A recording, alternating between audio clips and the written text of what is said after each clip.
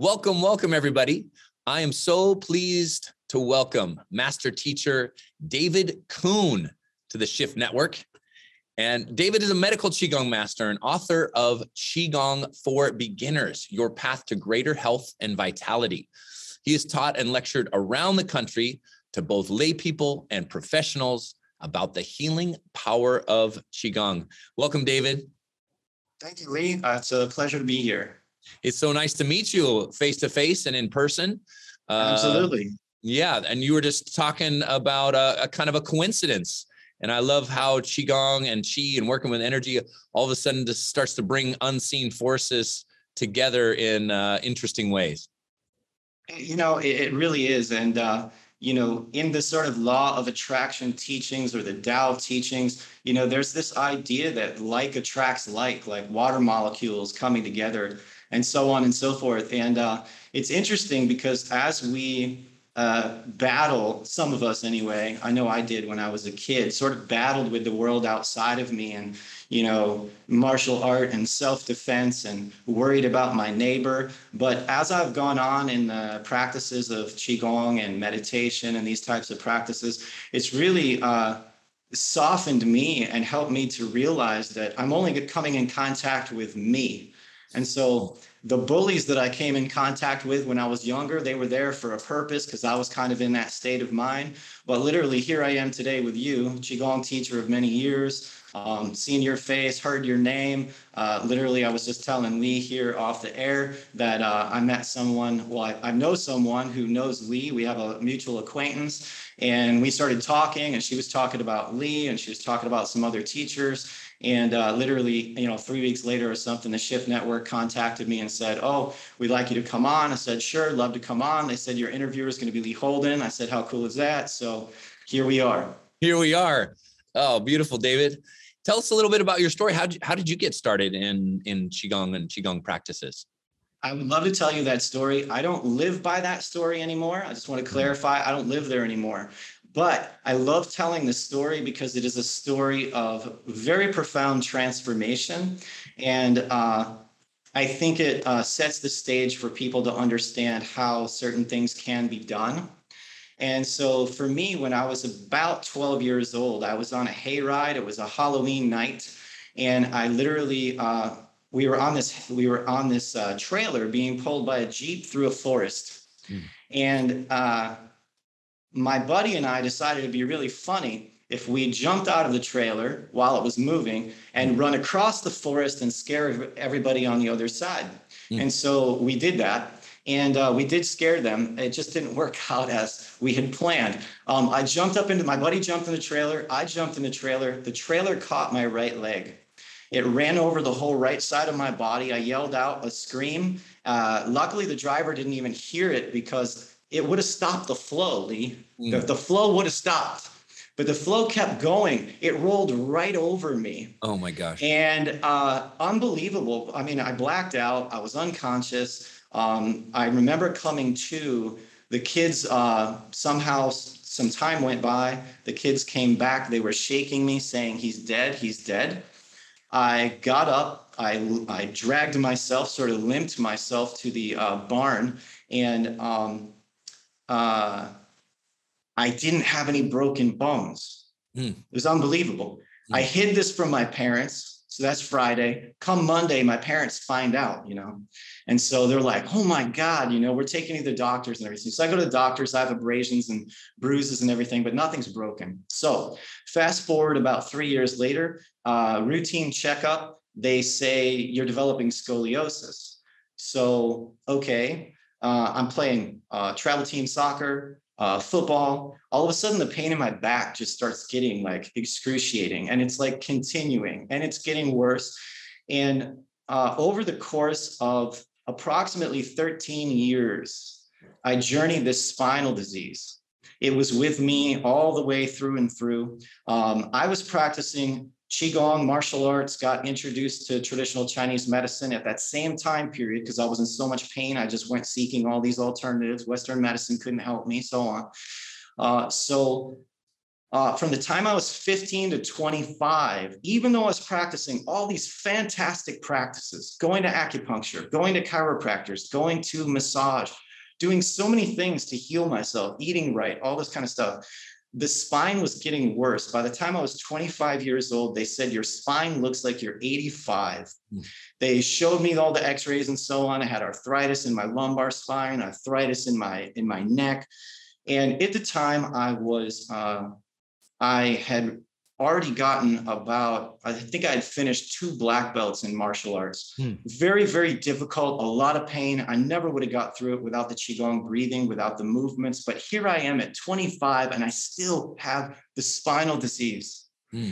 And I'm like, what do I do? You know, like, like this is getting pretty. So, you know how it is when you uh, meet a teacher and then that teacher leads you to another teacher and then you learn something and then that teacher opens up another door as they say in asia a lot they say uh, when the student is ready the teacher appears mm-hmm. so i started uh, meeting these teachers that were really starting to work with me like a Mantak Chia on mm-hmm. the inner work the inner work even deeper than I'd ever gone before.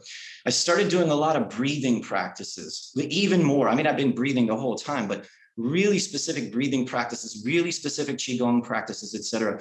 In those three years, from 25 to 28 years old, I had a series of experiences of catharsis, mm-hmm. um, energy coursing through my body, colored lights in my head, vibrating sensations that after three years, uh, unbeknownst to me uh, at the time, they had cleared the spinal disease. I didn't know it. I literally was standing by the river. My dad came to visit me. I was living in Colorado at the time, and he said, Your spine, it looks straight. What like what happened? I subsequently went to get some x-rays, and literally it's the first time in my life I ever saw my spine looking normal. Wow. Unbelievable story. What an incredible story. It, it's a, a profound gift of healing. You know, sometimes I think through adversity, we find deeper and deeper layers to our practice and you know what seems so like important.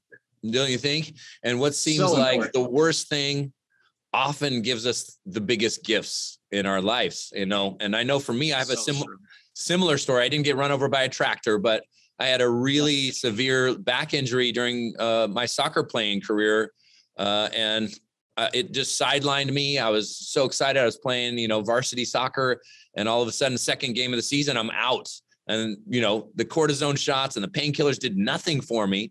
And it wasn't until I started getting into the Qigong practice where that profound healing really comes in. And, it, and sometimes it really takes something severe to be able to motivate you or to really dive into this practice in a in a deeper, deeper way. Um, oh, you know, is that why you, you you know really recommend a daily qigong practice can you talk to us a little bit about the practice the motivation how to keep consistent with uh, our goals and and what can qigong do for for all of us? Absolutely. Uh, number one i think one of the the amazing things about qigong is that anybody pretty much can do it. Yeah. you could be in a wheelchair and if you can move your arms if you can move your breath you can do it and yes, there's certain things you maybe can't perform, but overall, Qigong as a whole can be, be performed by anyone, any age, any time. And so this is number one, uh, the reason that it's so profound. I have a vast background in the martial arts and uh, have studied that quite uh, in depth the thing is is that i never would have been able to be physical again you know leaving football leaving soccer and so on. The physicality i just i wouldn't even even been walking around. I mean they were telling me at 25 your spine is starting to crush your lungs and all this kind of stuff. So there's really no excuse at all to not practice or try this because anybody can do it and you can be tired and you can be exhausted. It's not going to the gym and trying to lift a whole bunch of weights. It's not uh, picking up some heavy object and hurting your back again. Anybody can do it. And the reason that a daily practice is so important and learning different methods, people always ask me, well, what's the best Qigong? Is David Coon's Qigong the best Qigong? Is Lee Holden's Qigong? What Qigong are you going to practice? That's the best practice for you. What do you like? What are you interested in? What moves you? What are you going to practice more than three days? Because at the end of 30 days, and we know this about life, it's called momentum. If your sickness or your disease, and my sickness and my disease had quite a momentum over 13 years, that spinal disease was getting worse and worse and worse and worse. And everybody around me, well, there's not anything you can do about it, you know, just uh, make the best of it. Qigong enters in, and the one thing that I exemplify with my life, I am by far not a perfect person. I am by far not enlightened or whatever. But what I've done over the last 37 years is I have practiced, practiced, practiced, practiced daily, daily, daily, daily. That's what brings the momentum. That's what brings the change. That's what brings the alchemy that brings us out of, as you said, like crisis, for example, into that growth, into that change, into that transformation. Beautiful, David. I mean, I think that's so important we can return back to and lean into a practice that helps to transform whatever adversity is in our life into something positive. I and mean, we need that fertile soil, that mud to grow that beautiful garden. And uh, you know, you're a walking example of how that transformation is possible. You use the word alchemy, and I think this is it's such a great word. Can you talk a little bit about what alchemy means to you? Yeah, alchemy, I, I agree. I mean, you know, we're, we're very much on the same page with that. Yeah. Um, you know, this is a wonderful, wonderful word. And, uh, and, and it's this idea of taking heavy lead, which is the mud you were talking about earlier. Now we're getting a little more refined, we're getting a little more specific, which actually is what the Qigong practice is about. It's refining heavy Qi. It's refining it and turning it into something else. You know, we have this saying in Western medicine and in uh, thermodynamics, the first law saying that energy can't be created, it can't be destroyed, it can only be changed from one form into another form. So in alchemy, we're taking the heavy energy, the lead, the muck, the, the troubles of our life, the heavy emotions like anger and sadness and fear, and we're alchemizing them. We're turning them into a finer substance that has the quality of gold, a fine, precious metal. And in the Taoist practices, in some of the traditions and practices, we get even more specific in this, where we're literally taking that lead and we're burning it in the lower dantian, that cauldron, we're setting it on fire, we're refining that, bringing that energy into a finer substance into the middle dantian, and then coming up into the upper dantian. And for those that are not familiar with this idea of dantian, another time perhaps we can get into it more, but briefly I will say, in Western medicine, what do we have in these areas? We have the brain in the upper dantian. We have the heart in the middle dantian, both of which they can measure the energy field of. Mm-hmm. So it's not all foo-foo. They can measure it and they do. EKG, ECG, they're measuring what's going on. And then in the lower dantian, this is like a new discovery for them. They're calling it the second brain. Mm-hmm. Mm-hmm. Beautiful. I mean, this is the three treasures. I mean, this is the alchemy of the three treasures, the mixing together. How do we create this alignment? I you know what I really heard you saying is how do we use what we've been gifted? And you know, I love the Taoist tradition of hey, these are treasures and treasures need to be excavated and cultivated in very specific ways and these qigong practices help us to excavate the best energies of our mind, of our emotions, and of our bodies. And what a beautiful practice. What a way to reframe what modern life has been teaching us. You know, we're full of mental stress, emotional stress, physical pain. If we can get in there and excavate all this, there's gold underneath the surface. And just like your life has been an example of, when we can turn adversity into a treasure, we really develop, you know, for me, I, I really feel like we develop kinder, more compassionate hearts. Uh, and this is really where this healing energy comes comes through. Talk a little bit about healing and, and how, you know, we find ourselves in a really particular place in modern life that calls for a lot of healing energy. And, you know, this is an ancient practice, but we're living in a modern world. How do we bridge that gap? Well, I, I, first of all, I just want to say I so love the fact that you and I are gathering here right now and that you're asking me that question. Uh, because really, you know, there's always been troubled times. I mean, go back 2,000 years, whatever, there's always troubled times. But I do feel, as you do, and as you're alluding to, you know, this is a very challenging time for a lot of people. People have never faced anything like this before um, for them personally, you know. And my thing is, and, and my teaching over the years continues to be around this idea of there are so many things outside of us that we cannot control. So many things and in my earlier life, I tried to control all of them. Mm-hmm. It, it, caused me all kinds of pain and grief and struggle. And uh, over time, I've learned I've learned that what I have control over are my own actions, my own thoughts, my own deeds, my own practice, my own breath, my own flexibility, my own physical strength, my own endurance, my own attitude, the words that come out of my mouth. So I'm a very, very uh, firm believer in mastering yourself. It's why I sit here in my outfit and so on. I wear a lot of these. I have a lot of different costumes in my, uh, um, you know, Japanese costumes, Chinese costumes, Korean costumes in my closet. But they have a lot of meaning to me. And uh, to me, it has to do with that mastering myself. I mean, I was in the mirror five minutes tying this up. You know, it's a it's a meditation lacing this up. Mm. Uh, but the one piece that I'm always saying to people is, yes, I'm a master, so on. People will say, well, what defines you as a master?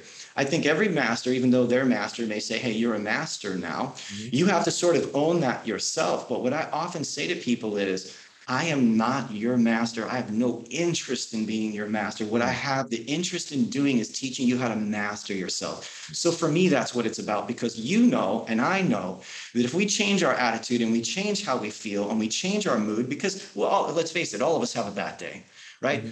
But if we make our day better before we ever leave the house, and you do that for yourself, and sometimes you'll go, hey, you know what? I'm going to share this with my YouTube folks. And you put on your YouTube and you teach them a 15 minute practice. How do you feel, Lee, after you teach people for 15 minutes? You weren't feeling great. You shared something great with the world. How do you feel 15 minutes after you just shared that with people, right? You feel fantastic, right? You feel better. They feel better. And you didn't even meet them in person you know you didn't even necessarily get even a, a, direct feedback but you feel better and you know it's already making the world a better place. Mm.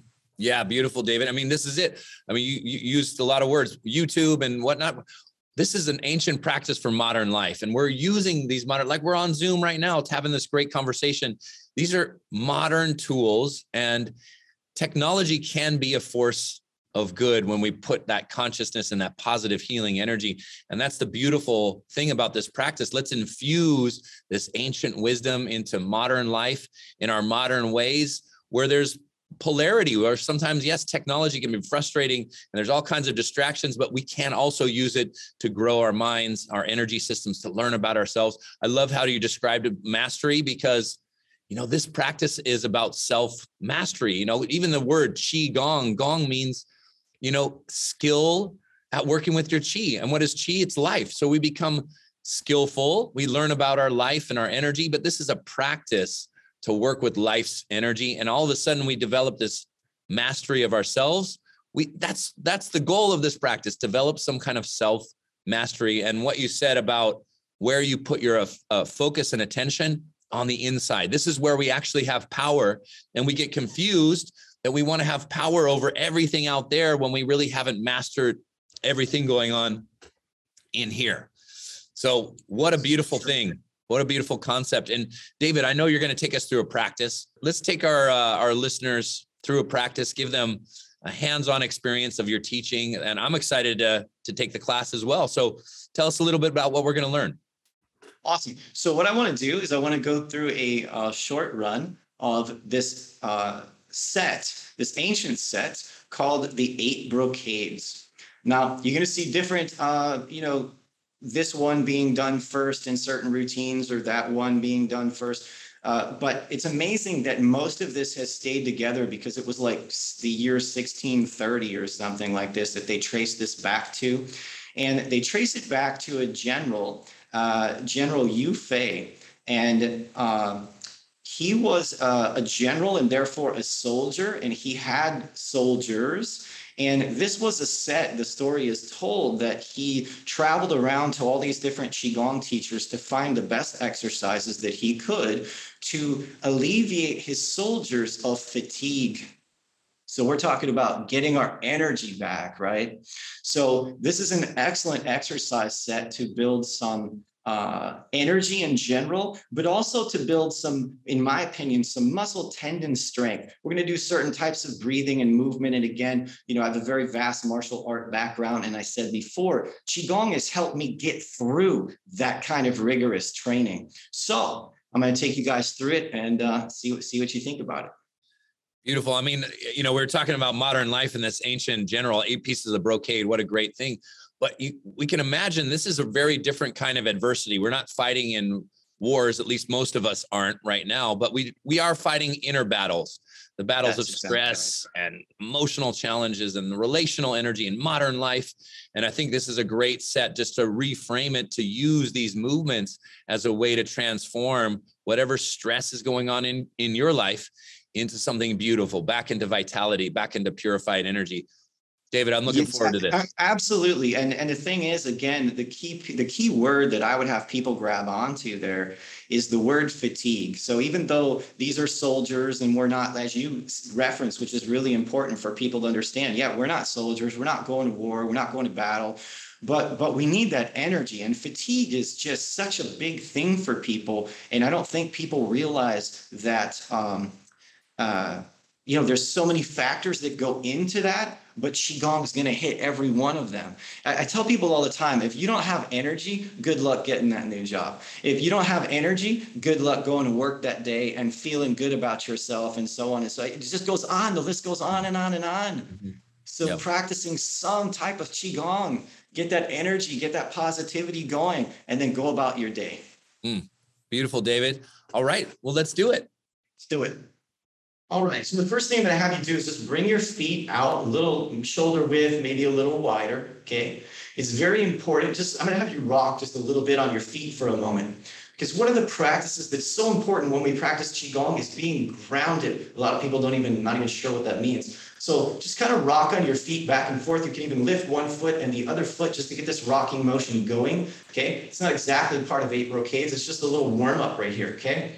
The first exercise typically traditionally taught in this form is an exercise called uplifting the sky. We're going to bring our hands here. As we bring our hands here, like we're cupping this energy, this is like area of lower dantian, okay? We're going to interlace the fingers as the hands are traveling upward toward the chest. We're going to reach out. If this bothers you in any way, separate the hands so that you don't hurt your fingers. But otherwise, we're going to reach and we're going to press straight up like this. So first, I'm just going to show you the movement and the stretch, and then we're going to add the breath to it. So just stay here for a moment, reaching, stretching. If you can't reach this high, don't worry about it. Just go nice and easy. Right here, let the fingers come apart and exhale your breath as you're sinking your weight into a little bit of a horse stance, like you're sitting on a horse. On the way up now, we're going to try and add the breath. We're going to breathe in through the nose, nice, easy. Nice, easy. Reach up, stretch above your head. Hold that breath a little bit for a second. Exhale the breath. You can let the breath come out through the nose and or the mouth. Sink your weight. And as you're coming up, try and time your breath with your hands. Inhale, reaching up. Stretch Exhale. And coming up again slow, your speed. Reach, stretch, press. Exhale your breath. Now we're going to move into the second one because we have just a little bit of time to work with this. But first, we're going to do this little clearing exercise. So the hands are here. We're going to come back up to about the collarbone. And we're going to bring our hands down slowly. Right now, I don't want you to worry about what you're doing with the breath. This could be a slow inhale, exhale. But right now, I want you to just move the hands like this. I love watching uh, the monks, for example, doing this, and they press, and it's not just that you're moving your hands, it's bringing your mind and your chi down, getting a little bit grounded. The second exercise is often called drawing the bow. I'm going to move my right hand across my body. And to understand the first part of the movement, I want you to just tug on your left shoulder and the shirt that you're wearing. That's like the pulling of the bowstring. With your other hand, I'm going to have you make this position here. You're going to take a flat hand. You're going to curl back your fingers. You're going to leave the index finger sticking up, and you're going to just kind of hold out this thumb. That's the traditional position of this. As I pull this string, I'm going to push out with that hand, and I'm going to look. Very important. Look in that direction. Now, with my left hand that's being held out, I'm going to come over with my left hand and I'm going to tug on my right shoulder just to understand that pulling motion. And then I'm going to pull and I'm going to push away. Once you understand the pulling motion, you don't need to tug your shirt anymore. We're just going to come across and pull and push. As you do this, let out a little bit of an exhale. Okay. And then come across and a little bit of an exhale. If you get into a rhythm and it feels right, as this hand's traveling across, you can try inhaling through the nose. Exhale here as you pull and push apart and look.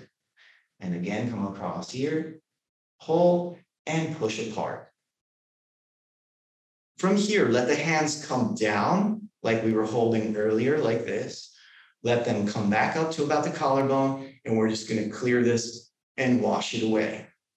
If you want to try it with the breath a little bit, we'll breathe in here. We'll exhale here. We can go in through the nose.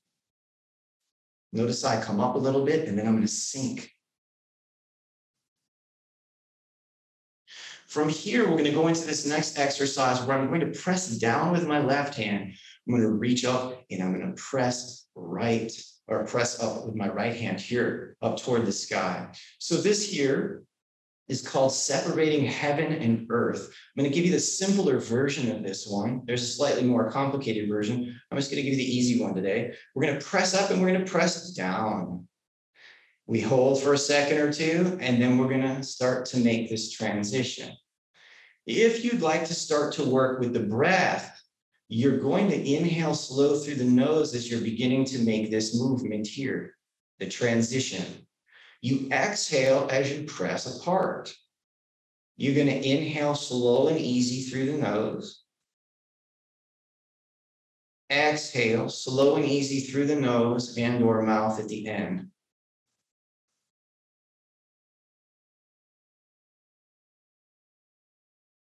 And right from this position, my left hand is high like this. Bring both hands to the middle here. Bring them in, circle them in, and then bring them down.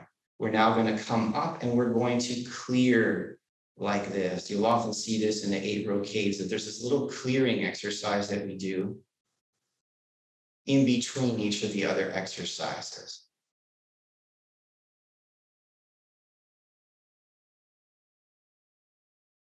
The next exercise is called Wise Owl Turns Its Head to Eliminate Fatigue. So in this exercise, I'm going to start you with your hands out here to your side. When we bring the hands in, we're going to bring them in toward the lower dantian like this. And when we do that, we're going to inhale through the nose. So let's start over. We're going to go back to here, and we're going to inhale through the nose. Now the hands will go out to the sides as I exhale and look to one shoulder, one over one shoulder or the other. I inhale as I come forward. I exhale as I turn my head, reaching and stretching.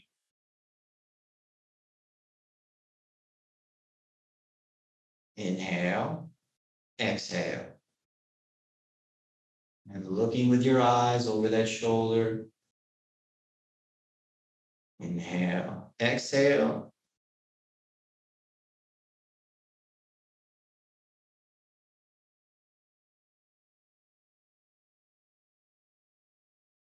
I'm going to do one more.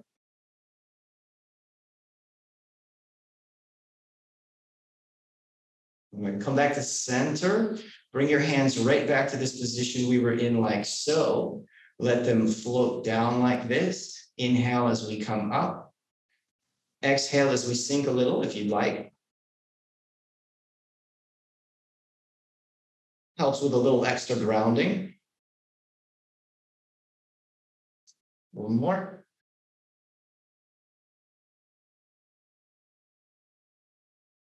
Next exercise in this set, we're going to start here with our hands on our knees.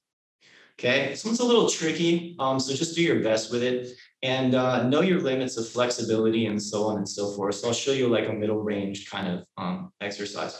So this one is called sway the head and shake the tail to eliminate heart fire, which essentially means stress. So from here, I'm going to lean my head down toward my knee. I'm going to come across with my head and I'm coming over to my other knee. I'm going to come back up to center. I'm now going to go back the other way. I'm going down to my left knee and across to my right knee. I'm going to come all the way back up to center. That's the basic movement. But now, so important with this particular practice is the coordination of the breathing that we're going to do. So, shake that out for a second like this. And I want you to think about this. We're going to do an inhale through the nose. Okay. First, let's uh, do an inhale through the nose here. As you go this way to your right knee, I want you to exhale. I want you to pretend you're a dragon and you're setting the floor on fire. When you get to here, breathe in through the nose as you're coming up. Go back down toward that opposite knee. Exhale, set the floor on fire through the mouth, breathing, exhaling, setting the floor on fire. Inhale as you come up through the nose. Exhale as you go down, and I'm just going to let you do it because I can't breathe and talk to you at the same time. Inhale as you come up. Exhale as you go back down. Exhale all the way. Keep breathing until you run out of breath and then without hurting yourself. And then inhale, come up and then go back down. Exhale. Inhale, come up. Exhale, go down. Get that heat, get that fire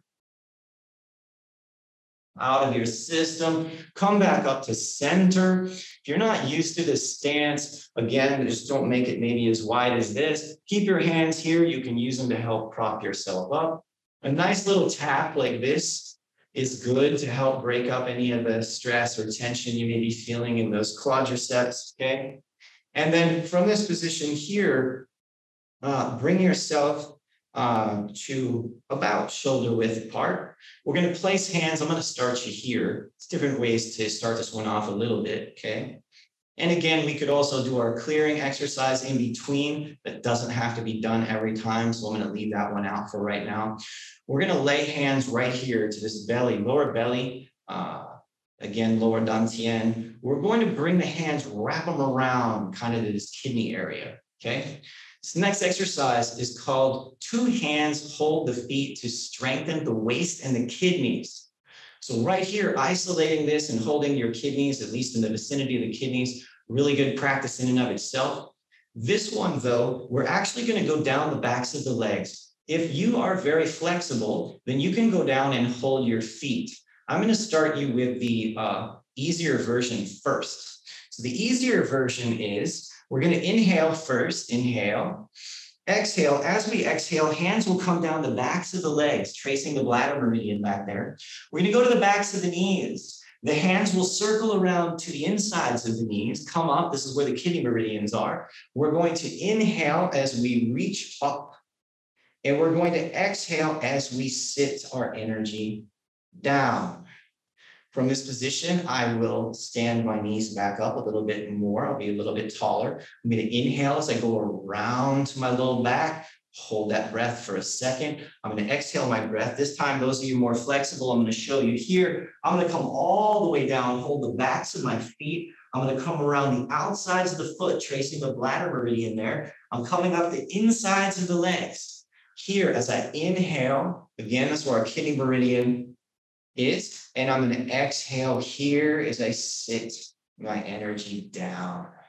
Once again, I'm going to inhale, exhale. I'm gonna inhale as I'm coming up. I'm gonna exhale as I sit my weight down a little bit. Let's do one more because I love this one. Inhale. Exhale.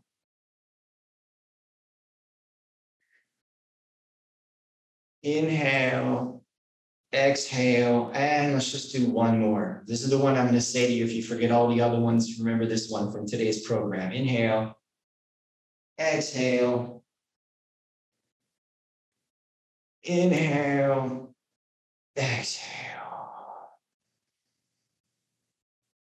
All right.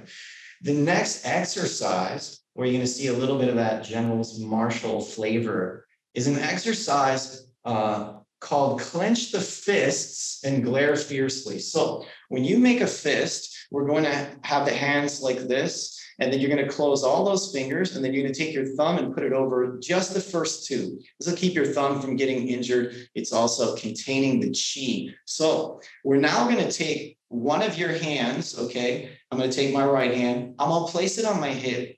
When I place this on my hip, I want to make sure that if I were to open my hand back up, my palm is facing the ceiling. A lot of beginners like to do this and it cuts off the chi flow. You want it to be this way. So once you have that, I'm going to have you stick your other hand out in front of you. Okay. Maybe about, you know, the height of your chin or your chest. Doesn't matter exactly. Okay. So from this position here, what we're going to do is we're going to be moving from a position of a horse stance. So if you go down into a horse stance for just a moment, as you come up and make yourself tall, you're going to inhale through your nose. As you exhale, we're going to change the position of these two hands. Not everybody will get this the first day, okay? Don't worry about it. Inhale.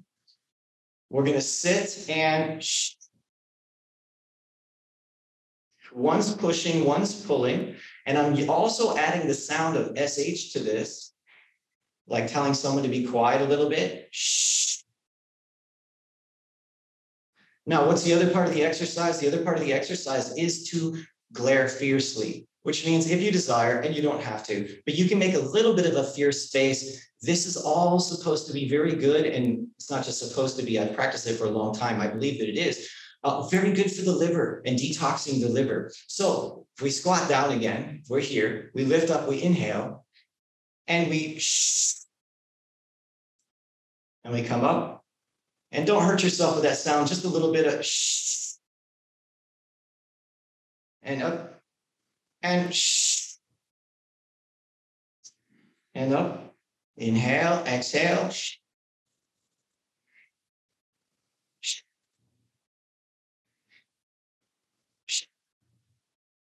One more. Right here, we are going to do a clearing exercise. So we're going to inhale. Let's go big this time, really, really big. Inhale, exhale. Can even use a little bit of a sound of SH, but you're like dissipating it. It's not concentrated. It's just let it stress out.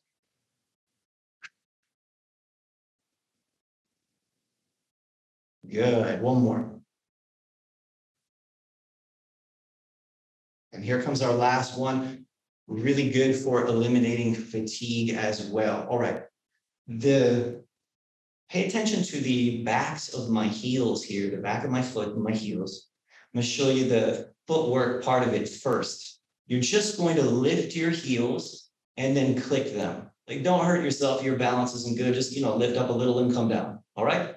But what we need to do is we're going to counterbalance this movement going backwards and this uh, stomping of our heels a little bit with a movement of our hands raising up like this. This is going to be the counterbalance, okay?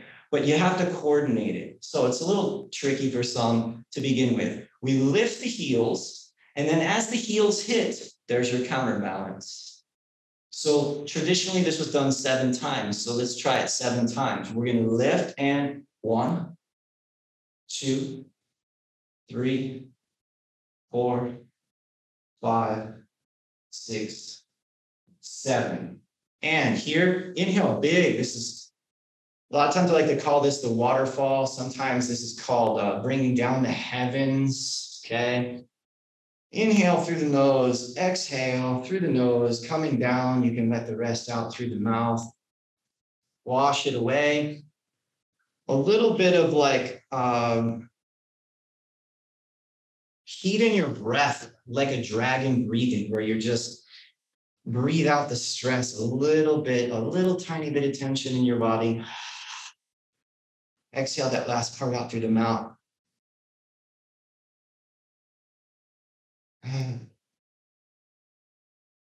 Excellent. Now, just bring yourself here, feet about shoulder width apart. We are almost done. That set is mostly complete. I'm going to have you bring middle fingertips together. Touch this lower rim of the belly button. Okay, the bottom of your belly button. You're going to hold your hands flat to your lower dantian. This is where your lower dantian is. In Japanese martial arts, we call this area the hara. Okay, just hold it for a second just for one minute with me, if you would. I want you to take your attention and I want you to put it in your feet. Make sure you notice your feet are on the floor. I want you to take that attention of yours and I want you to place it onto your hands. And I want you to take that attention and turn it a little more inward to the space behind the belly button called the lower dantian. For now, you can just think of it as the space there. And I want you to take three breaths in through the nose, out through the nose, your speed, don't rush, and that will complete our practice.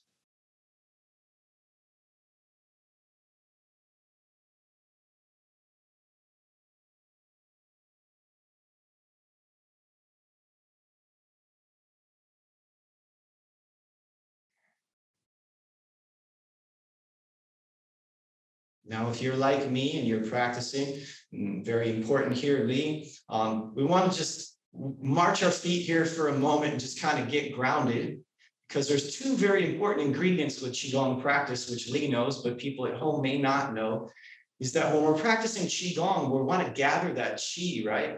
But we also need to stay anchored and grounded because if we're not, we get a little too stacy, a little too lightheaded, and we can't maintain the practice. So take a breath, Join me back over here. What'd you think of that one, Lee? David, I, I love the eight pieces of the brocade and I love the way you taught it. How simple was that? And the way you put it together in a short, concise practice that just gave us results. I feel great. And uh, you, you can tell you're a master teacher. David, where can people find out more about you? Do you have any a website, any programs coming up? Just share with the audience a little bit about yourself and where they can find you. Sure. Um, they can find us at QigongAwareness.com. And we spell Qigong, Q I G O N G, the old school way. And uh, we actually have a free event coming up uh, this Saturday, um, a sponsored event uh, from a foundation. And uh, it's Qigong for Peace, which for me means Qigong for inner peace.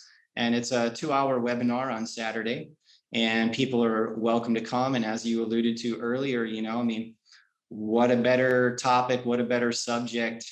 Um, we all need that inner peace in our life because to me, that's the only way that we, you know, when, we, when we're younger, at least for myself, and I think a lot of us uh, that are in the spiritual community and so on, we have fantastic ideas about wanting to change the world or different things, but we're all confused ourselves. And then somewhere along the way, we learn through practice that, like, if I practice inner peace myself and I have it here, then I can pay it forward there. And that that will come back to you. That will come back to me. So uh, I definitely uh, invite people to come and participate in that program if they desire. And it will be recorded too, so they can find it on the YouTube channel, uh, Qigong Awareness, and my name, David J. Coon. So wonderful. David, what a great session. So nice to meet with you. So great to talk about Qigong Likewise. and be here together. Likewise. Thank you so much, Lee. It was a pleasure meeting you. And again, uh, I, I'm, I'm just, I'm excited. I'm just stoked that you and I have connected and that we've shared our energies here today. At a time when the world needs us. And uh, back when we were five years old, you know, we probably could have hung out and played some different games. And yet here we are. We would we would have been playing soccer together. You know, Absolutely. Uh, but but you know here we are. We we're a little more grown up or whatever, and uh, we're coming out to the world at a time where the world needs us and uh, joining forces over something so profound, this qigong practice. And so uh, I'm just blessed and grateful. So thank you. I look forward to uh, seeing you again. Yeah, absolutely, David. Keep up the great work and let's continue to share this You beautiful too. healing energy with the world. Absolutely. All right, all. Thank you so much, Lee. Thank you. Thanks, everybody. Thanks, everybody. Take care for now.